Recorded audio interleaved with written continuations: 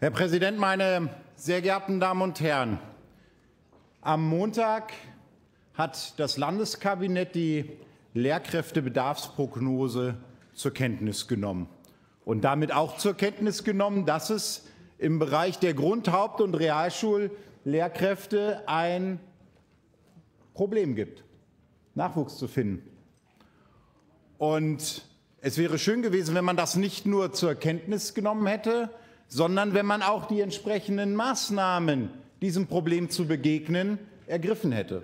Und dazu gehört eben nicht Mitte dieses Jahres zu Beginn die Grund-, Haupt- und Realschullehrkräfte mit einer kleinen Zulage von 50, 60 Euro netto abzuspeisen, sondern zu sagen, ihr seid uns genauso viel wert wie die Sonderpädagogen, die Berufsschullehrkräfte oder die Gymnasiallehrkräfte.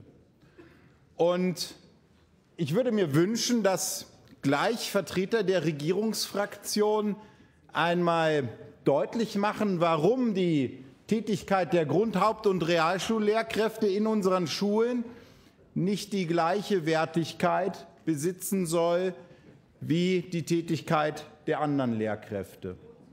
Und das, was den Lehrkräften in unserem Land eben nicht mehr reicht, ist zu sagen, aber das war schon früher so.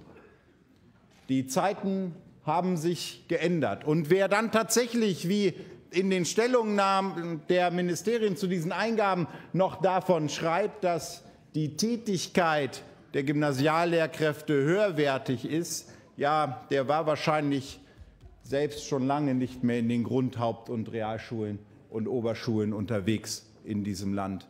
Natürlich können Gymnasiallehrkräfte für sich in Anspruch nehmen, auf einem anderen wissenschaftlicheren Niveau zu arbeiten.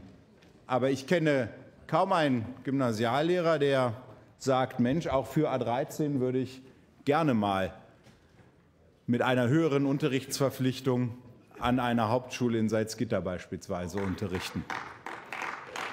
Die Arbeit ist eine andere, aber die Arbeitsbelastung und die Intensität ist eben auch dort gegeben.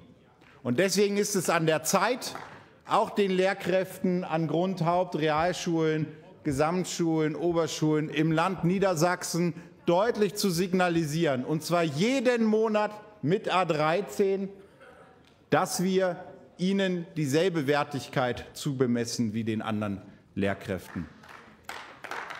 Und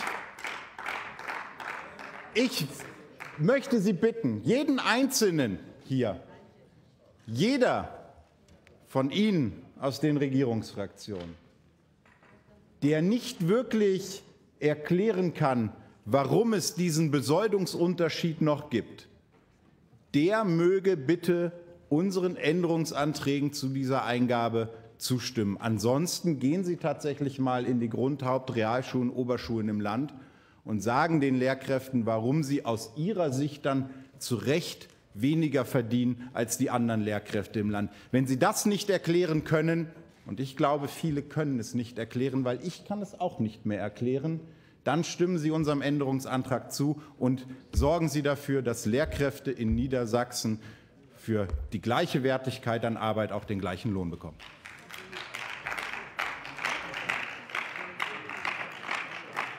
Dankeschön, Herr Abgeordneter Försterling. Zur gleichen Petition ist dran